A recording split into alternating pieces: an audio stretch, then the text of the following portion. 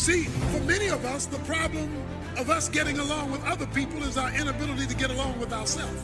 Everything visible and physical is preceded by something invisible and spiritual. The consequences we are dealing with in our lives, in our homes, in our culture, we are dealing with them because there is a gap between where God is and where we are. He wants to know that you want him and not just want his stuff. See, a lot of folk go to church to get God's stuff, but who don't want the God who gives it. So if you're in distress, don't let that drive you away, draw you near. When you get close and want to live for him, want to please him, want to honor him, want to exalt him, want to draw near to him, then heaven opens up and he lets you find him. He lets you find him.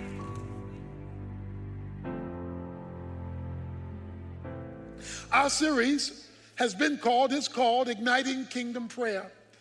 And the purpose of this series is connecting you with your authority, with your spiritually endowed authority granted to you by God if you are a believer in Jesus Christ. But for far too many of us, we do not see clearly because we do not understand that it is our shaded view that's keeping us from experiencing what God offers. God wants you and me to have kingdom authority. Kingdom authority may be defined as the divinely authorized right and responsibility delegated to believers to act on God's behalf in spiritually ruling over his creation under the lordship of Jesus Christ. Let me repeat that again. Kingdom authority is the divinely authorized right and responsibility that's been delegated to believers to act on God's behalf in spiritually ruling over his creation underneath the lordship of Jesus Christ. My purpose today is to clarify our sight line to clarify and hopefully help us to clean the glasses we're wearing and, if necessary, get new ones so that we see things clearly and therefore enter prayer with spiritual authority. In verses 15 to 18, Paul prays that they will apprehend what they have. He says in verse 17, that God will give you a spirit of wisdom, a spirit of revelation. He prays in verse 18 that the eyes of your heart may be enlightened. All that means is so that you start seeing things as they really are and not as you think they are. He wants God to clarify. So I want you to whisper in your mind or with your lips as I'm speaking to you today. I simply want you to ask God to help you see that the eyes of your heart might be illuminated to see clearly what this authority that you possess, I possess, we possess as believers. In fact, he uses an interesting word in the end of verse 18, which are the riches of the glory of his inheritance in the saints. So I'm here to declare to you, you are rich. He says, I want you to understand how rich you are in the spiritual realm that you have inherited by virtue of your faith in Jesus Christ. I know as a Christian, your major concern is when you die, you will wind up in the presence of the Lord. However, on your way there, God wants you to know there are riches, rights, and privileges that you can benefit from on your way to your ultimate destination. Paul says, I don't want you to go to heaven to see how powerful heaven is. I want you to be enlightened now about the rights and privileges that accrue to you and me and us based on our relationship with Jesus Christ. What God wants you to know me to know and us to know that there is more in there to be experienced not just to be held in your hand, but to be experienced. He says, I pray that your eyes might be enlightened. But our problem is we've got fog on our glasses. It's like pesticides being put on fruit and vegetables. When you put the pesticides on the fruit and vegetables, that which was designed to be organic has now become chemically induced, producing another kind of problem no matter how good it tastes. Many of us have put pesticide on what God has for us, and it's contaminated it. That pesticide is called human wisdom. That is man's point of view, the human way to go, the natural way to think. And we have sprinkled pesticide on God's organic truth and wonder why we're spiritually sick, even though we're still chewing on the word. Because it's been contaminated by what the Bible calls the wisdom of man, which nullifies the manifestation, illumination, and revelation of God. He says, I pray that your eyes would be open, that you will become wise, that you would become knowledgeable in an experiential way of what God wants to do, because you already have the riches. In fact, he says in verse 1, chapter 1, verse 3, you've already been blessed with all spiritual blessings. Everything God is ever going to do for you, he's already deposited. So you already have it. Now, having established what he's praying for, what you and I should be praying for clear glasses so that we can see. He goes a little bit further. What does he want us to see? Well, he says, verse 19, what is the surpassing greatness of his power toward us who believe? So, guess what he wants you to see? He wants you to see his power. He wants you not to talk about it, brag about it. He wants you to see it. He doesn't want you just saying God is omnipotent. He wants you to see it. He says that I'm praying that you'll see the surpassing greatness, blow your mind, power toward us who believe. These are in accordance with the working of the strength of his might. He says God wants to show you his muscles. God wants to show you his potency. God wants you to experience his power. He wants you to see him show off his power, demonstrate his power, not just theologize about his power. Well, how big is this power? Well, he tells you, which verse 20 he brought about in Christ when he raised him from the dead and seated him at his right hand in heavenly places far above rule, authority, power, and dominion, every name that is named, not only in this age, but in the age to come. Wow. Guess what kind of power God wants you and me as believers, if you're a believer, this applies to you, to experience in your life. He wants you to experience, here it is, resurrection power. He wants you to see the power that reverses things, that can take things that are dead and make them alive. Take things that are bad and make them good. Take defeat and make victory. Take loss and wind up with gain. He wants you to see, watch this, that he can change the natural order of things. Resurrection is changing the natural order of things. Now, that's going to happen to you and me physically, like it happened to Jesus when we're given our new bodies at the resurrection. But he's not talking about when believers die, he's talking about while we're still alive. He says, I want you to see it now. I want you to put on glasses so that you get to see resurrection power. Now, let's go a little deeper. When he raised Jesus from the dead, it says that Jesus being raised seated him at his right hand in heavenly places. Jesus rose on Sunday. Then he ascended 40 days later through the clouds into heaven where he sat down. Now you sit you sit down when you finish something. Okay? The Bible says he sat down on the right hand of the Father. The Father's right hand is his power hand. Okay? When the Bible talks about the right hand of God, it's talking about his power. So he sat in the seat of power. Hebrews calls it the throne. So he's sitting in a powerful seat on a powerful throne because he's a powerful person. So now, the reversal of fortune from Friday to Sunday led to the ascension, which led to him being seated on a throne. Who sits on a throne? A king sits on a throne.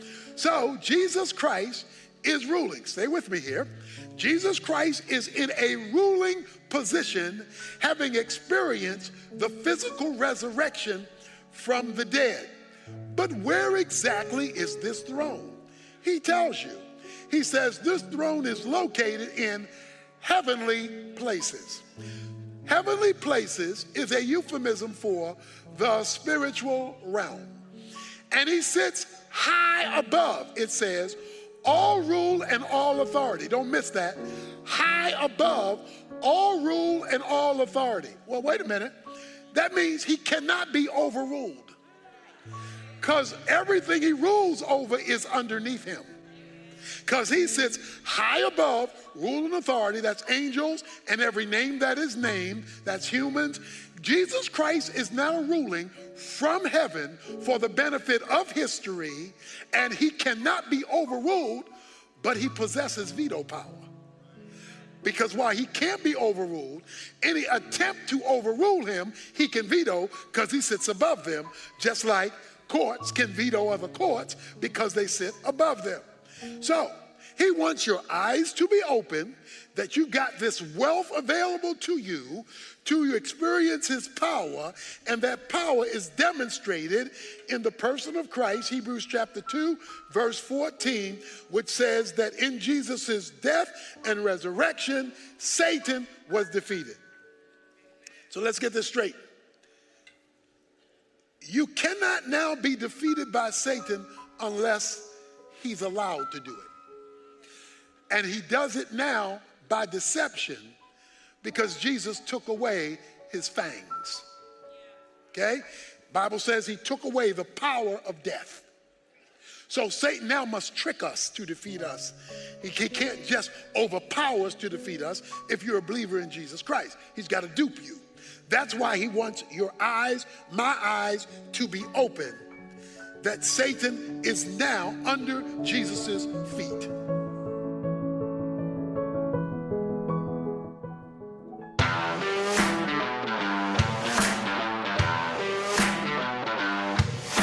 I studied the Bible in college for four years.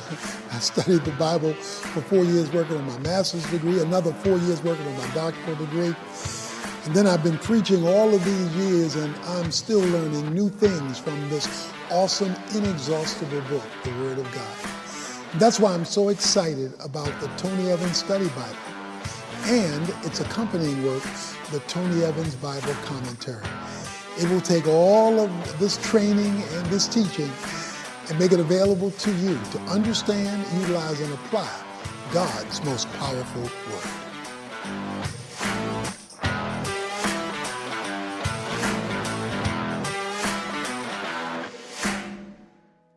Look at chapter 2, verse 6. I'm going to read verse 4 to 6. But God, being rich in mercy, because of his great love with which he loved us, even when we were dead in our transgressions, made us alive together with Christ.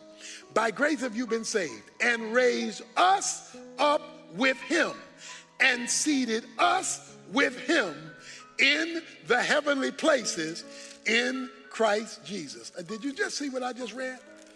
Were your eyes open? I, I, I don't believe it. I don't believe it. I got to read it again. But God, being rich in mercy, because of his great love with which he loved us, even when we were dead in our transgressions, made us alive together with Christ. By grace you have been saved, and raised us up with him, and seated us with him in the heavenly places in Christ Jesus. So, guess what? Jesus is not the only one in heaven. Somebody's with him, together with him. Not only are there folks with him, and together with him, they are seated beside him. It says seated with him. And they are together with him, seated with him in the same location as him. Heavenly places. Heavenly places is the spiritual realm. So, guess what? Paul is praying that you and I and we understand. You're here, but you're not here. He says, You have been relocated spiritually, even though you are physically located right here, right now in church. He says, Because if you are saved, you died with him, were raised with him, were seated with him in the heavenly places. So here's the problem. If you're seated with him in heavenly places, but you're operating from earthly places, then you're functioning from the wrong location. So the reason many of us are not seeing the power is we're operating from the wrong location. We're seated in heaven because that's where the power is, but we're operating on earth and there's no power there. He says, but if you learn to operate from where you are truly seated, which is in heavenly places, you're looking at things totally different because you're looking at it from God's perspective, not from man's perspective. He says you are seated with him. Authority works where Jesus Christ rules, where his jurisdiction exists. We do it all the time. Don't they call it Zoom? Teleconferencing? See, you can be in Dallas and be in a meeting in Chicago without ever leaving Dallas. Because technology has set it up that you can really be in Chicago and never leave Dallas. Because the way technology has happened is that connections are made between a place you aren't to put you there while you still aren't there. So you're physically in Dallas, but you're in the meeting in Chicago because technology has put you in two places at one time. Now, before man ever created all this techie stuff, God had a spiritual system in place to connect us from earth to heaven without leaving your location. And that spiritual connection point has every believer in heaven while they never leave the premises on earth. The problem is we get so used to earth that we never connect the spiritual technology to heaven and wind up with the limitations of earth. And therefore don't see the authority and the power that God has granted believers to experience. So, how do you get to experience this? Okay, here it is. Notice verse 22. And he put all things in subjection under his feet and gave him as head of all things to the church, which is his body, the fullness of him who fills all in all. Here it is. You will not see the connection open up and the screen come on up there in heavenly places where you are, down here on earthly places where you sit, unless you are under Jesus' feet. You have to be under his feet. God has placed all things under his, Jesus's feet.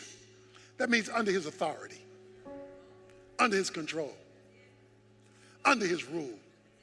And the one issue that must be settled is the lordship of Jesus Christ over every area of life. That, that issue must get settled. When you trust Christ for the forgiveness of sins, you're now on your way to heaven. But when you submit to the lordship or the rulership of Jesus Christ over every area of your life, that's when heaven can visit you. And heaven will not visit you if you're not under his feet. Let me read to you right now Romans 14 about the lordship of Jesus Christ. Here's what it says in verses 7 through 9. For not one of us lives for himself and not one dies for himself. For if we live, we live for the Lord. And if we die, we die for the Lord. Therefore, whether we live or die, we are the Lord's. For to this end Christ died and lived again, that he might be Lord both of the dead and of the living. Until he is Lord, he uses the word Lord four times in those verses. Until he is master, ruler, final decision maker, dictator, meaning you're under his foot. You know, when somebody puts their foot on somebody, they want to hold them down, okay? Unless God can hold you down, unless you are willing to say, Yes, Lord, to his authority, unless you and I are willing to say, I am not my own, I've been bought with a price. And that buying with a price covers all of my life my personal life, my financial life, my attitudinal life, my relational life. It covers all of my life because I am not my own. He says, I want to be Lord while you're living and when you're dead. I don't want to just be Lord when it comes time to go to heaven. I want to be Lord on your way there. Until he we are under his feet, we will not see his authority being manifested in our experience. We won't see his power. We won't see change. See, because that, look, the way you know that this Christian thing is working is God demonstrates his power. See, when Jesus was on earth, how did they know he was the Messiah? Because of his powerful demonstrations. Okay? So if you really want to know how real he is, plug into his power. But you can't plug into his power unless you're under his foot. You got to be under his authority. In other words, he must have the right to veto you. He must have the right to overrule you. He must have the right to dictate to you. He must have the right to consume you because he died and rose to be Lord, not just to be Savior. He died and rose to take you to heaven, but also rule you on earth. And if you want to see his rule on earth, then he must be Lord over all of life. The problem today is we have AM, FM Christians. They switch frequencies. You see, they heavenly on Sunday, then they go secular on Monday.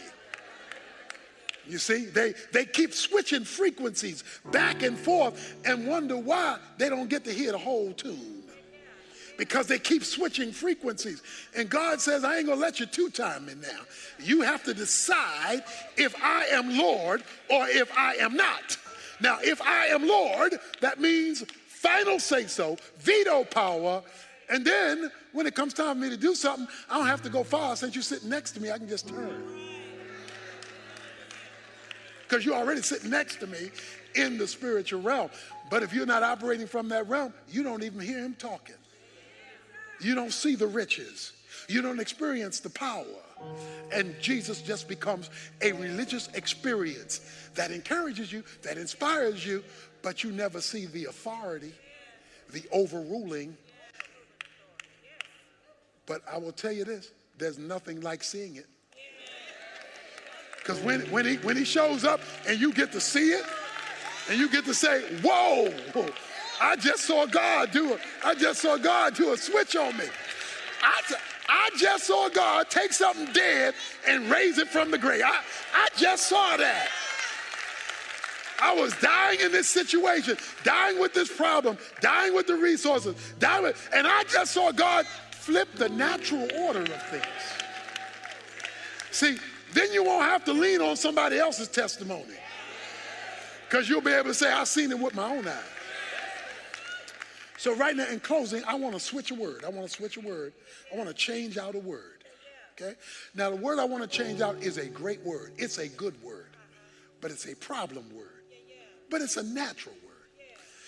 The word I want to switch out is the word commitment. See, we call on people to make a commitment. There's a problem with a good word. The problem with the word commitment is you still in control.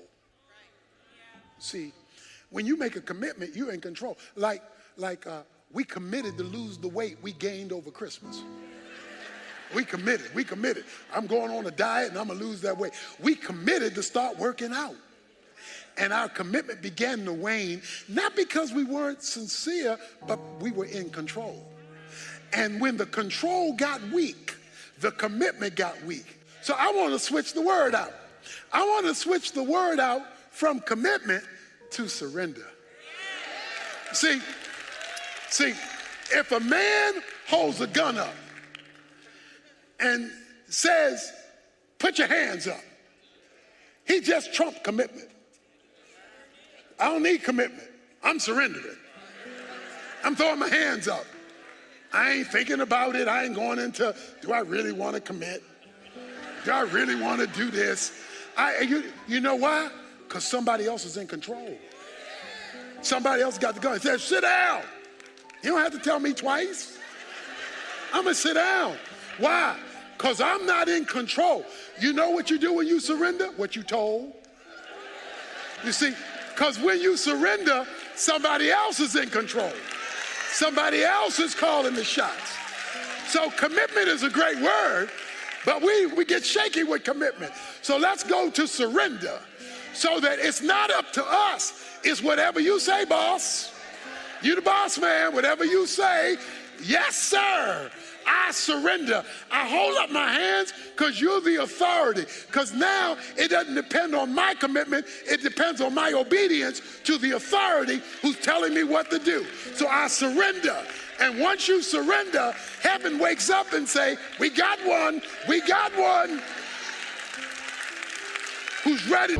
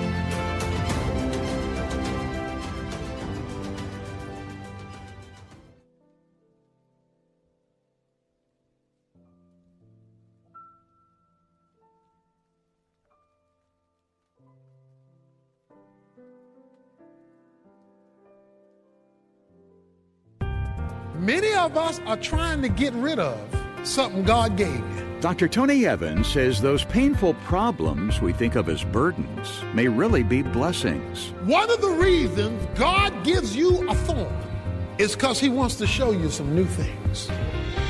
Celebrating 40 years of faithfulness, this is The Alternative with Dr. Tony Evans, author, speaker, senior pastor of Oak Cliff Bible Fellowship in Dallas, Texas, and president of the Urban Alternative. When life gets thorny, many times our only instinct is to do whatever it takes to get things back to normal. But Dr. Evans explains today God just might have something bigger in mind. Let's join him in the book of Exodus as he explains a dense fog covering seven blocks to a depth of 100 feet is composed of less than one glass of actual water. A fog covering seven blocks so you can't see even 100 feet in front of you because it's that thick, only has a glass or less of water that composes that much fog. You see, there are 60 billion droplets that are spread out of particles settling over that seven block area. But it can blot out your ability to see things clearly. Many today are living in a spiritual fog. They allow a cup full of trouble, irritation, or as our text tells us today, thorns, to cloud out their vision and dampen their spirits. How do you live in the sunshine when all you see is fog? Now, Make no mistake about it. On a foggy day, the sun is shining. But the question is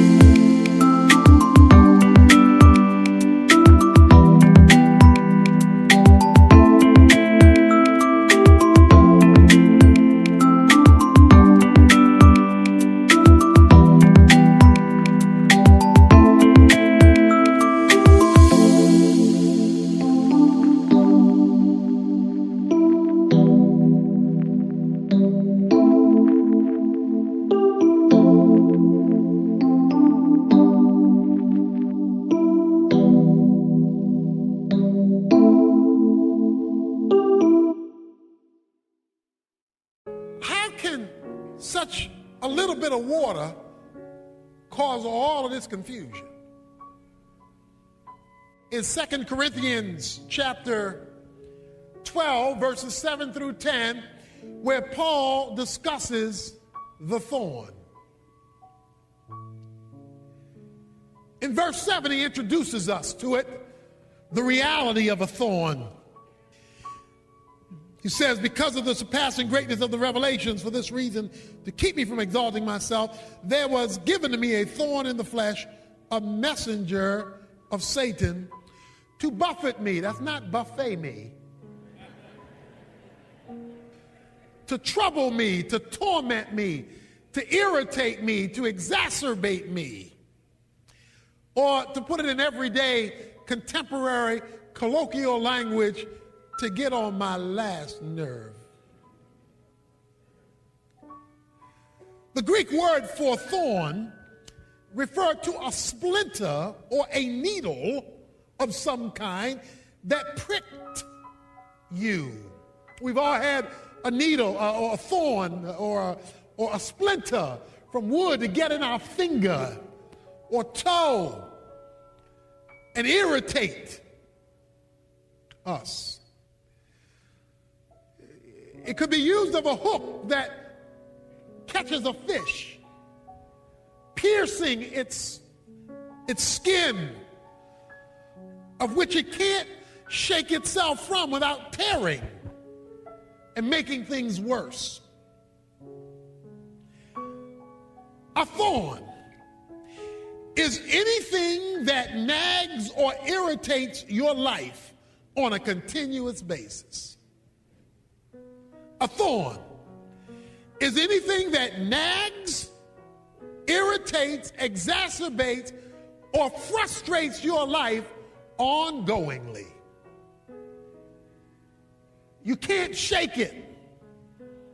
It hangs around. Paul says, There was given to me a thorn in the flesh. Something to irritate me. Now, you can read commentaries galore, and you'll have a lot of guesswork as to what Paul's thorn was. For example, Paul talks about how when he was trying to write the churches, he had trouble seeing. In fact, he had an amanuensis, a recorder who would write for him. And so some will say, well, it was his eye problem. Uh, but still others will say, well, he was always being followed by this group called the Judaizers who were undermining his ministry. And so they were an irritation to him. Maybe it was that. Paul speaks of being lonely. He says, Everyone has forsaken me. Some say it was loneliness. But the Bible never says what his thorn is, and that's good. It's good that he doesn't tell us what his thorn is so you can put your thorn here. Anything that irritates, nags, frustrates, exacerbates on a continuous level. In fact, he lays it open in verse 10. He says it can be insults, distresses, persecutions, or difficulties. Some of you are having to deal with emotional thorns, things that have to do with your feelings. You are you are lonely. You perhaps have been single for an inordinate amount of time and you are simply tired of being alone and it pricks you, nags you, irritates you. Or perhaps it's depression that keeps popping up and you can't shake it. Maybe it's memories or regrets.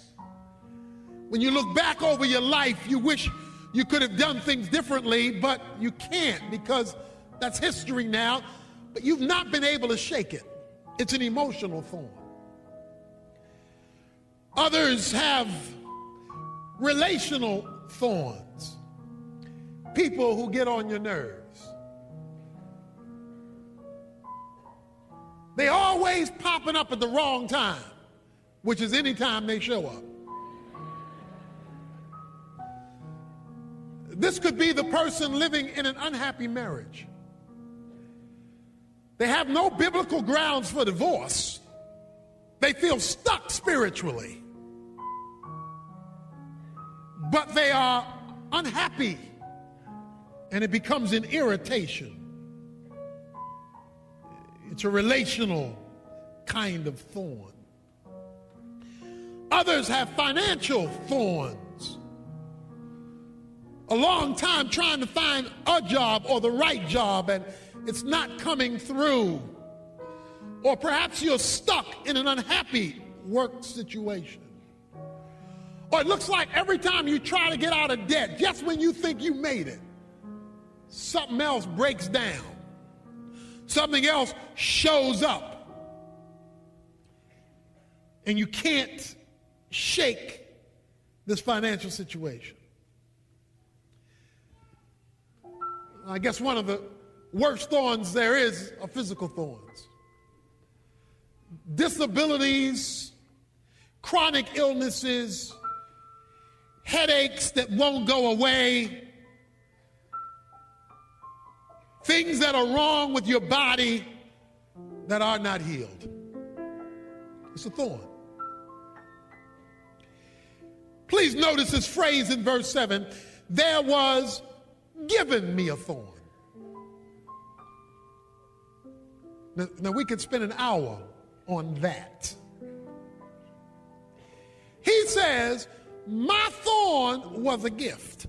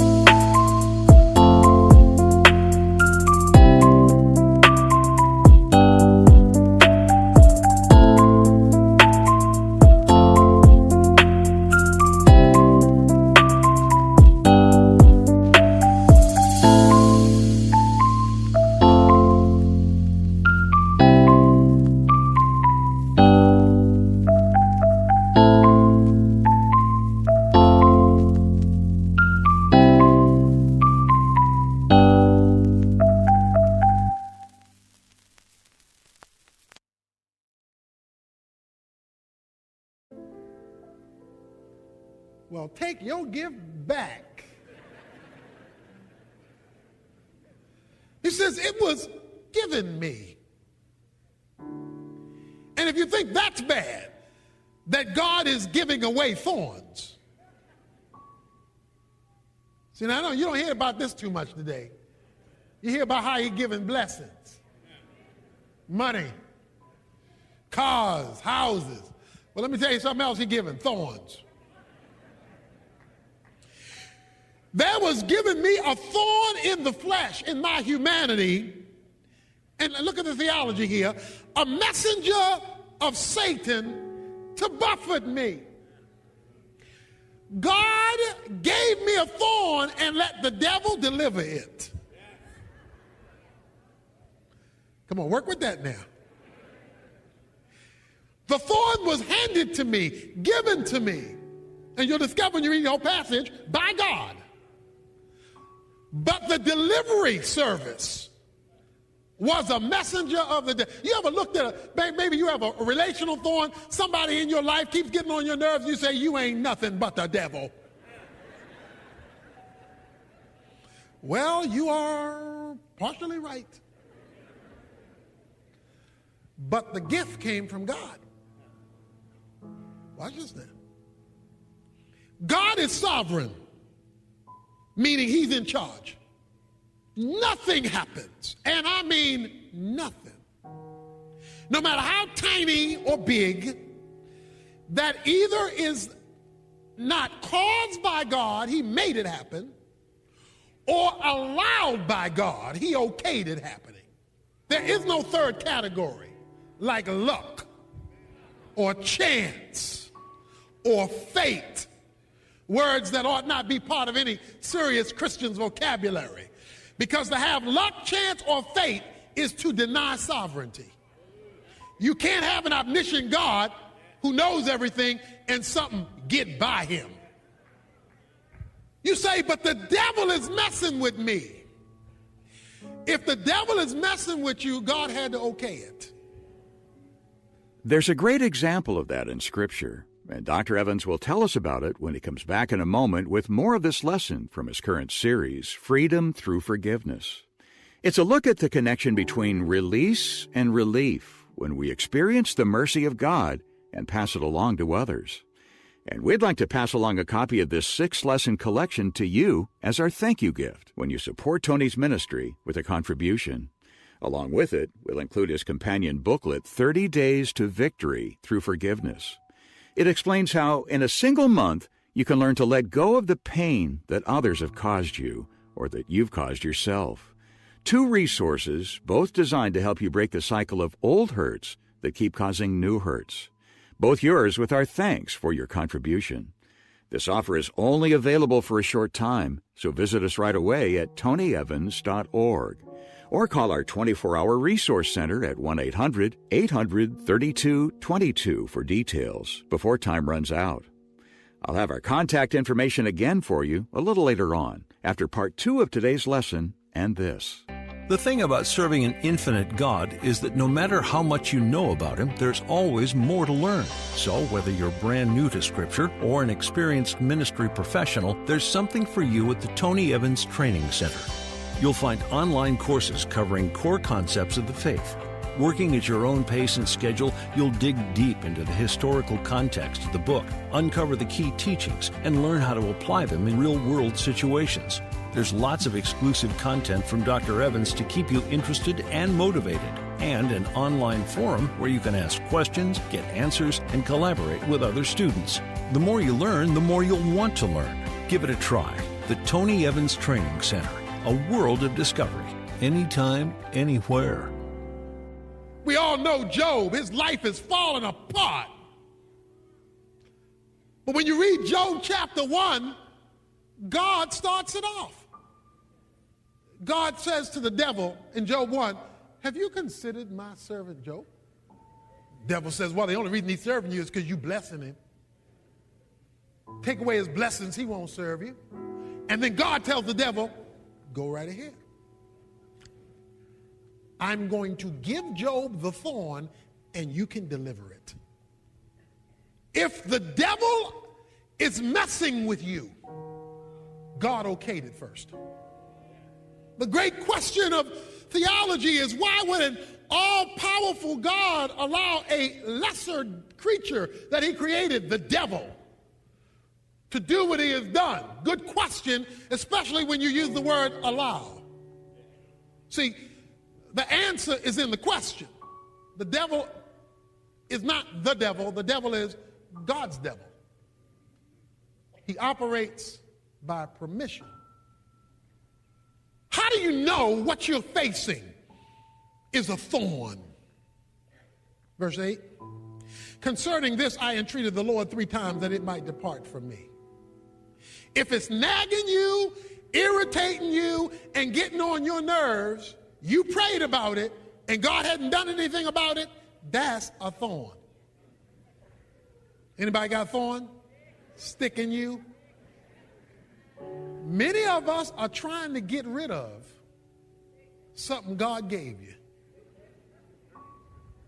You say, well, if God gave it, how can it be so bad? Because the devil delivered it. It was given to me. I prayed about it. I said, God, get rid of this thorn. It's sticking me. He says, I prayed three times.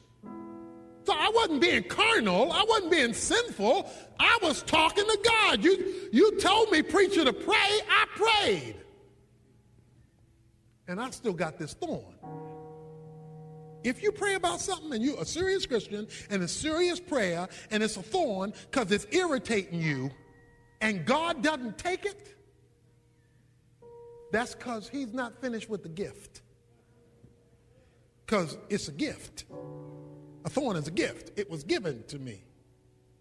Why would God give me a gift like that? Something that nags me in perpetuity. Something that won't go away day after day, week after week, month after month, year after year. Why would a good God, and God is good all the time, and all the time God is good, why would a good God give me something to prick me like this? I don't deserve this. I deserve better. Back to verse 7. There are two reasons God gives you a thorn. Number one, and because of the surpassing greatness of the revelation. The first thing, the first reason, this is very important now, that God gives you a thorn is he wants to show you some new things. Let's look at Paul's revelation here in this chapter, verse 2. I know a man in Christ, Paul's talking about himself in the third person, who 14 years ago, whether in the body I do not know or out of the body I do not know, God knows, such a man was caught up to the third heaven. And I know how such a man, whether in the body or apart from the body, I do not know, God knows, was caught up into paradise and heard inexpressible words which a man is not permitted to speak. Now, watch this. Paul is the only man in all of history who was taken to heaven, got to see heaven, and allowed to come back to earth to discuss it. He says he went to the third heaven. There are three heavens. There is the atmospheric heaven where the clouds are, the oxygen is. There is the stellar heaven, the stars, the planets, the solar system. And then there is the throne room of God, paradise, the place where every believer goes when they die. That's the third heaven. He says, I was taken to paradise. I like what he says. He, he says, whether in the body or out of the body, I don't know. In other words, it was a dimension I'm not familiar with. It was, it was an experience that is unlike any experience I ever had. See, see, I can't fully explain heaven to you because it operates in another dimension. It, it operates outside of space, outside of time. He says, I cannot fully explain my state. I'm not sure how to articulate it. But this one thing I do know what I saw up there, I cannot put words together to formulate. He calls it inexpressible.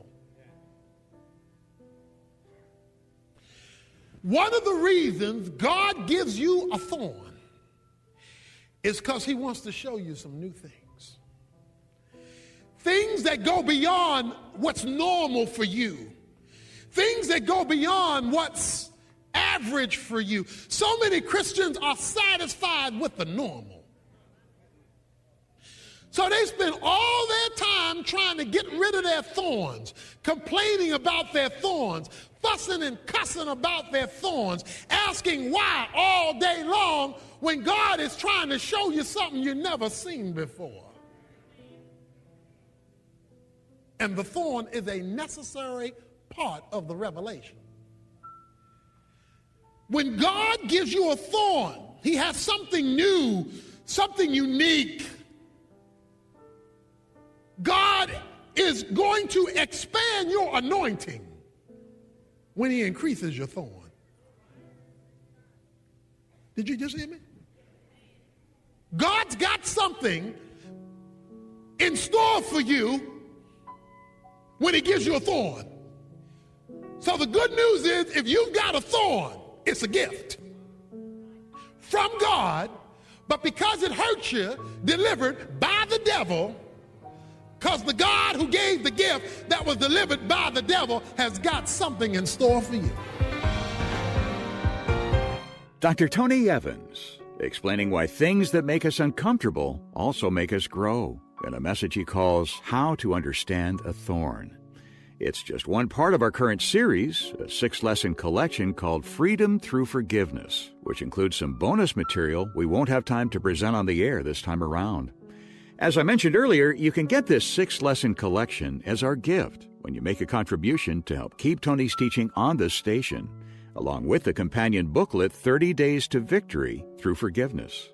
As you've heard, the Urban Alternative is celebrating 40 years of ministry this year, so your support is an investment in an organization with some deep roots.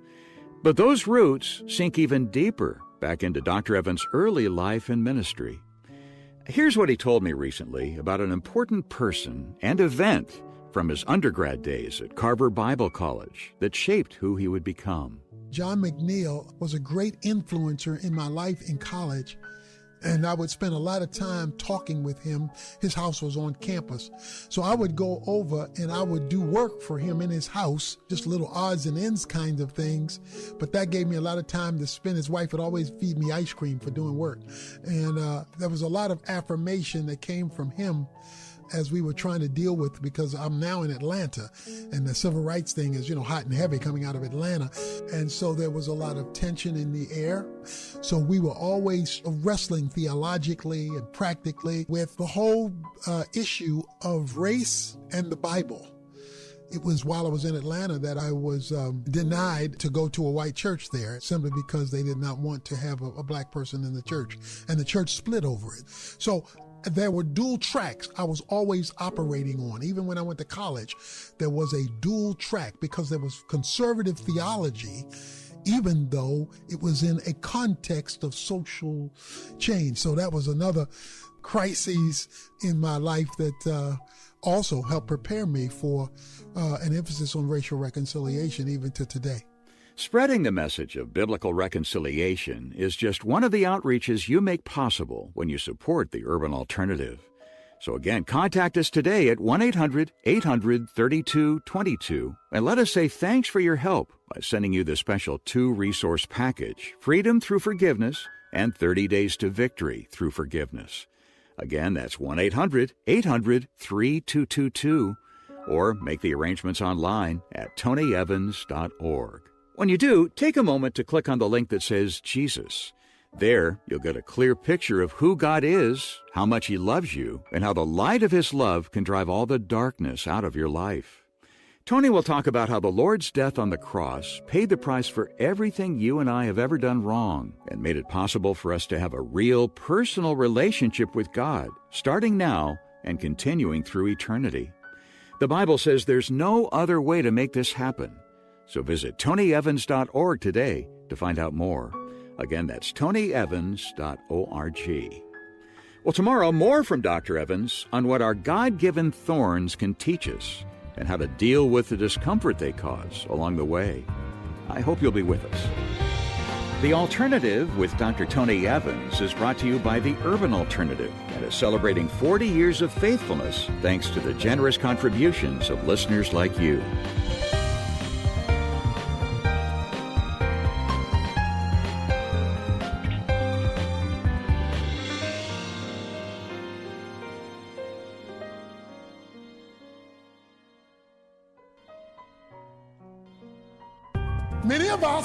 Are being hindered from our destiny because we're being held hostage by a leash around our souls called unforgiveness. Dr. Tony Evans explains why getting the pardon we need depends on the pardon we give. If you're holding on to vengeance, then you are blocking God from taking care of it for you.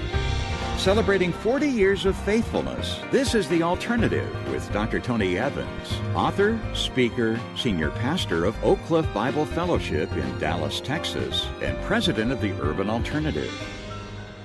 When we think of hostages, we picture people being held against their will or threatened in some other way. Today, Dr. Evans will talk about the kind of hostage who could walk away at any time but refuses to go. Get ready to turn to the book of Genesis as he explains. two monks were on their way to a particular destination. On their way, they had to cross a shallow river to get to where they were going. They ran into uh, an older lady, a heavy set lady, who was sitting at the bank of the river that they had to cross. When they got to the bank of the river and saw the lady, the lady was crying and they asked her, What's wrong? She said, I can't cross the river. I, I, I, don't know how to cross the river. I'm scared to cross the river. So, kindly, the monks picked up the lady and carried her across the river. When she got to the other side, she thanked them, went on her way, and they began to continue to their destination. But as they began to continue to their destination, one of the monks complained about the pain in his back. He said, Boy, carrying that woman across, she was heavy set and it was difficult walking across the river, and, and my back is hurting so bad.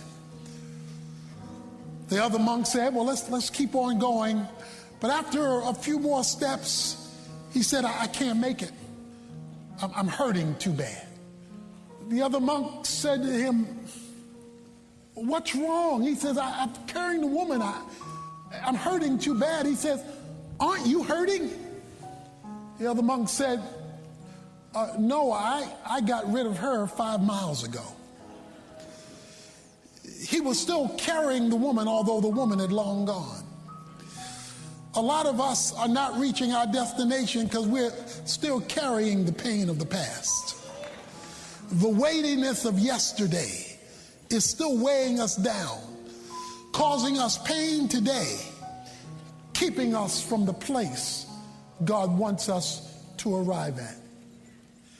Nothing, and I mean nothing, will hinder you arriving at God's destiny for you like unforgiveness. If anybody had a right to be angry, bitter, and hold a grudge, it was Joseph a dysfunctional family, a dysfunctional father, put in a pit, sold into slavery, seduced, unjustly jailed, forgotten in jail. If anybody had a right to be mad, if anybody had a right to say life is not fair, it was Joseph. Joseph occupies from chapter 37 to chapter 50 of the book of Genesis. So God wanted us to zero in on this man's life. He gave so much of the first book of the Bible to it because he wanted to show us the key to destiny. And one of the things that Joseph was going to have to grapple with that you and I will have to grapple with if you're going to finish life having fulfilled the reason why God left you here then you're going to have to, we're going to have to deal with the issue of forgiveness. First of all, let's define forgiveness because part of the problem is many people don't know what it is or they don't know if they've really done it. Forgiveness in the Bible means a decision to no longer credit an offense against an offender.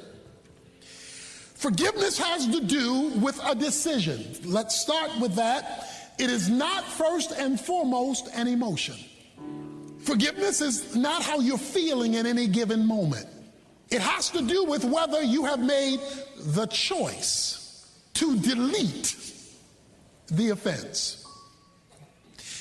If you are seeking revenge, if vengeance is yours, forgiveness has not occurred. Because when forgiveness occurs, the delete button is pushed, or as 1 Corinthians 13 5 says, you keep no record. Forgiveness can operate on two levels unilateral forgiveness and transactional forgiveness. Unilateral forgiveness is when you forgive and the person hasn't asked for it, requested it, or repented of what they did to you. You are unilaterally, that is, on your own, without their involvement, granting them forgiveness.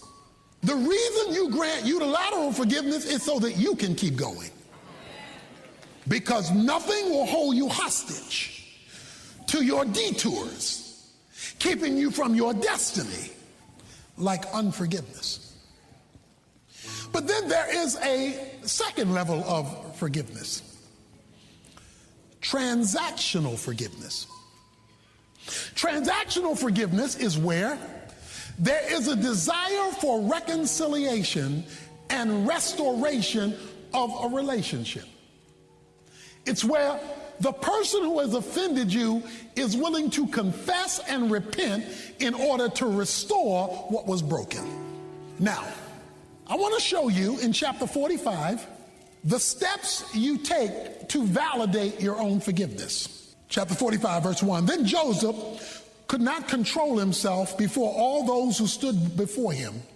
He cried, have everyone go out from me so that there is no man with me when Joseph made himself known to his brothers. He wept so loudly that the Egyptians heard it, and the household of Pharaoh heard of it.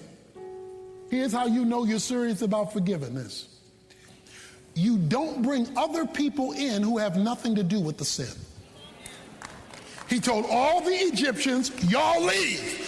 Y'all are not involved with this. Y'all have nothing to do with this. I'm going to confront the offenders, but y'all get out.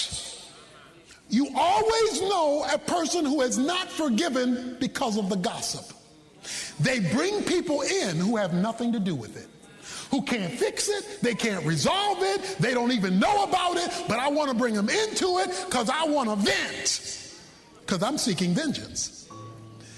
True forgiveness does not bring people into it who have nothing to do with it. So if you are gossiping to everybody else about the offense and the offender, forgiveness has not occurred. Secondly, you know you have forgiven when you make the offender feel at ease with you. Verse 4. Then Joseph said to his brethren, Please Come closer to me. Ah. When you haven't forgiven, you say, Get away from me. He says, Come, you did me wrong. Come close to me. I am now welcoming you into my space. He makes them feel comfortable in his presence instead of making them feel uncomfortable in his presence. He says, Come near, not get out of my sight. I can't stand you. Don't want to ever see you again. Get away from me. No, he says, Come near to me. And these were the ones who've done him wrong.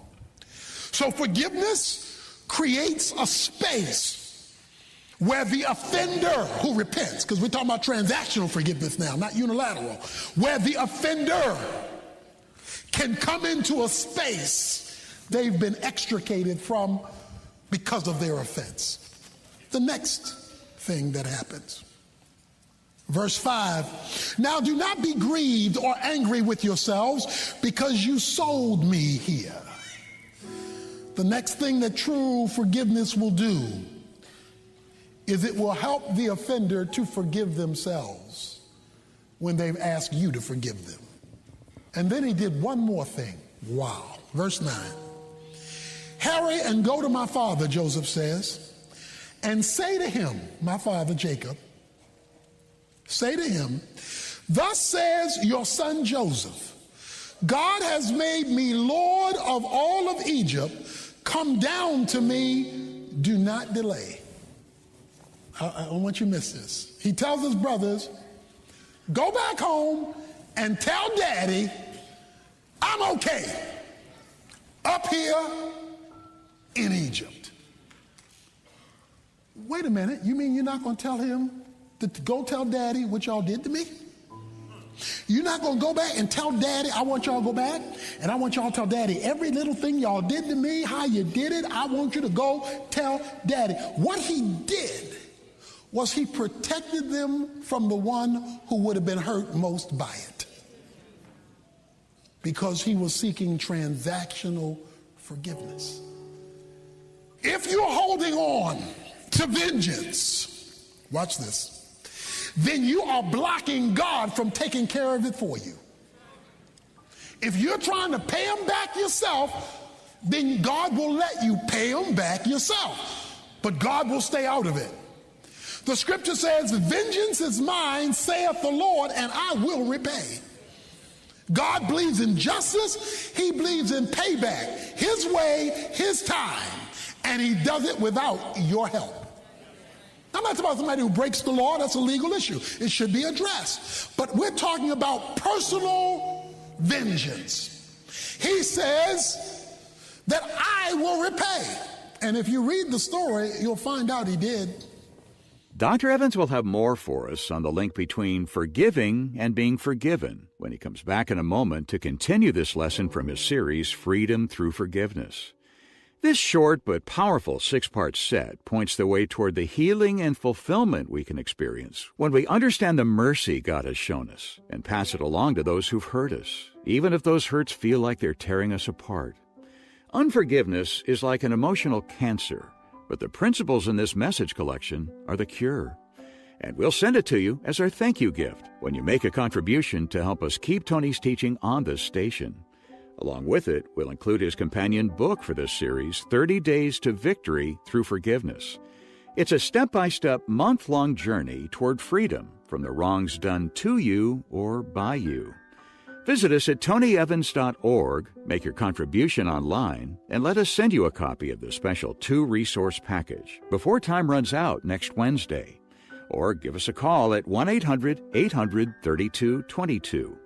Our resource center is open 24 7, so there's always someone waiting to help you. Again, that's tonyevans.org or call 1 800 800 3222. Well, Dr. Evans will come back with more of today's message right after this. It's beyond a Sunday sermon, a chance to really dig into the Bible and the kingdom in a new way. Anytime and anywhere because it's all online. The Tony Evans Training Center. In depth courses on all kinds of topics cultural transformation, intro to expository preaching, Jude, John, Hebrews, Old Testament, New Testament, and so much more. These aren't sermons, they're teaching courses to help you engage, understand Scripture, and not just to hear about, but to explore the kingdom of God on your own. Find out more at TonyEvansTraining.org. TonyEvansTraining.org. Take Judah. And the reason I want to talk about Judah is because he was the lead guy who got Joseph put in the hole to begin with when he was 17. Judah said, let's get rid of him. Well, if you read the story, you will find a whole chapter on Judah. Now, why is Judah put in this story with a whole chapter on him when the whole story is about Joseph? But there's a whole chapter on Judah because it's showing you how God pays somebody back who messes over you. Because when you read the story of Judah, in the middle of the story of Joseph, Judah starts losing his sons to death. He gets tricked by his daughter in law, has an affair with his daughter in law, giving birth to a child from his own daughter in law. His whole life crumbles because God will repay. But if you don't believe that, then you get to pay it without God. But if you believe that, then you know vengeance is mine. And you know when God moves, he moves. Ah. What helped Joseph to forgive? This was a painful situation he's lived through. Verse 50 through 52. Now, before the year of famine came, two sons were born to Joseph, whom Asenath, the daughter of Potiphera, priest of On, bore to him. Joseph named the firstborn Manasseh, for he said, God has made me forget all my trouble and all my father's household. He named the second Ephraim, for he said, God has made me fruitful in the land of my affliction. God set him up for forgiveness. He gave him a whole new family, and he said, My new family helped me forget my old family. And the way he kept reminding himself that he was no longer hostage to his old family was in naming his kids. He named one Manasseh and one Ephraim. Manasseh means God has helped me to forget my troubles. Well, how often did he have to say the name Manasseh? Every time he was calling him to dinner, every time he was correcting him, when he was sending him to school, Manasseh this, Manasseh that, Manasseh this, Manasseh that. So every time he called Manasseh's name, God has helped me to forget. God has helped me to forget. God has helped me to forget. He named the baby exactly what he needed from God. But to help Manasseh out, you need to have a second baby. Ephraim. Ephraim means God has made me fruitful. Watch this now.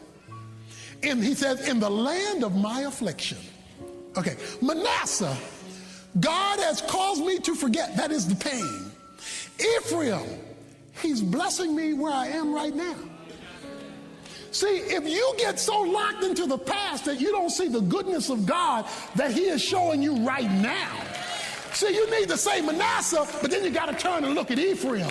Because Ephraim says, oh, well, what that happened to me yesterday, but God is providing for me today. He's blessing me today. He's taking care of me today. And even though I had a bad yesterday, my baby's name is Ephraim today. Unforgiveness blocks you from the supernatural. Lord's Prayer, Matthew 6, forgive us our trespasses as we forgive those who trespass against us. You read further in the chapter and he says, For if you do not forgive, you will not be forgiven. We all have to remember we got two sides to our story the need to forgive and the need to be forgiven. There are very few people who need to forgive who don't also need to be forgiven. Okay? Forgiveness is a beautiful word when you need it. It's an ugly word when you have to give it. But we all need both words because we need to be forgiven and we need to forgive. He says, and when you do, your Father who is in heaven will forgive you. He's not talking about your salvation.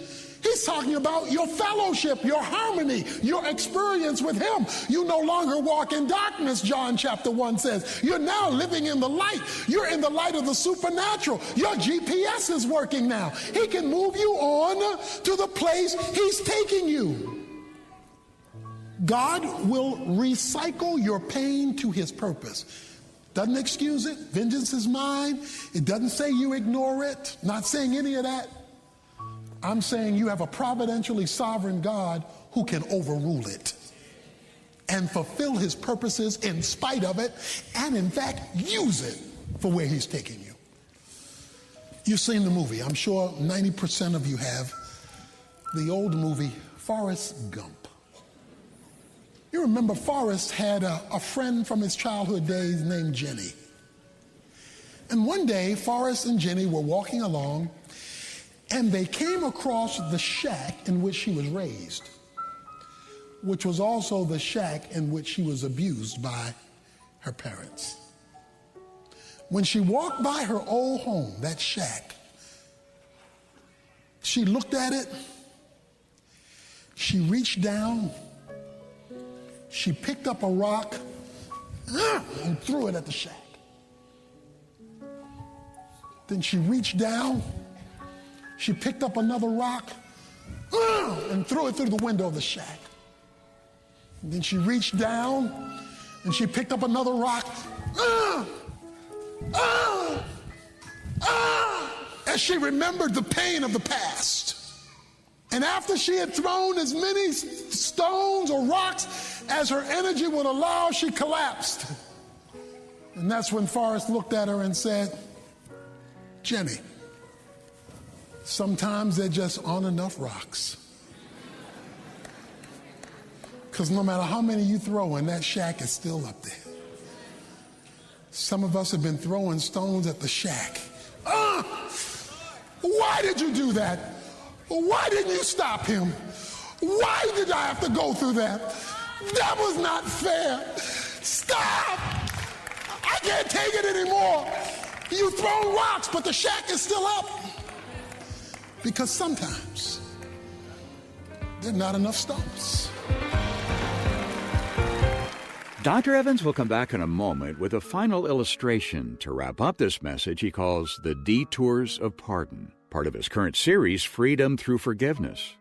Copies of this individual message are available. Just visit tonyevans.org to get the details. Better yet, request this entire six lesson collection when you make a contribution toward the ministry of the Urban Alternative. And we'll send it to you along with the companion booklet I mentioned earlier 30 Days to Victory Through Forgiveness. Just visit tonyevans.org to get the details and make the arrangements. Or call us day or night at 1 800 800 3222. That's 1 800 800 3222. As you heard at the top of the program, the Urban Alternative is celebrating its 40th anniversary this year. The expansion and growth we've experienced is nothing short of a miracle. And a lot of it traces back to the unique way Dr. Evans communicates across racial and cultural lines. Here's what he told me recently about how the Lord equipped him to do that. I was the fourth African American student at Dallas Theological Seminary. So many of the students there were not used to being around black people. But because of my personality, I, I would take the initiative, build relationships. I could see those who didn't want it versus those who were open to it versus those who were confused about it. Went and knocked on doors, met professors, talked to them. So I would take the initiative to not only learn, but to build bridges. But at the same time, I went to a black church there, Community Bible Church, headed by a guy named Reuben Connor and uh, this um, kept me in touch with the black community. And he had a ministry starting black churches, and so that kept me involved in black church ministry while attending a conservative white theological center. So I'm still operating on dual tracks. And so I think that again kept me in both worlds, biblical conservative theology, but operating in two directions in one direction, I wanted to strengthen the biblical foundation in the African American community. In the other direction, I wanted to increase the social sensitivity in the white community. Well, Dr. Evans says forgiving others releases us from one source of pain and prevents a brand new one. He'll tell us what it is tomorrow. But right now, he's back with a final thought for those who aren't feeling free enough to forgive. But you say, Pastor, I still feel it. I still feel it. Well, let me remind you about the bell. You know, the bell in the bell towers is on a rope, and you pull the rope, bong, bong, bong, bong. And then they would let the rope go. And you'd still hear bong, bong, bong. Bong, bong, bong, bong. Because when they let go of the rope, the bell would still be swinging, but it would slow down until it stopped